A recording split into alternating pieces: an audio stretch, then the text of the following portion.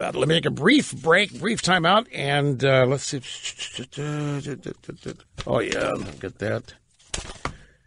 There's oh the McCabe story. That's what I was looking for. Haven't got to. Wait till you hear this. The the, the drive-bys. The New York Times. Andrew McCabe, ex deputy director of FBI, will be faulted for leaks. It was in McCabe's office that Strzok, Stroke, and Lisa Page were talking about the Plan B, the insurance policy for in case Trump won. It ended up being the Trump, the Steele dossier. So the New York Times is heralding, yeah, guess what? It was McCabe. It was leaking. Except, except, except.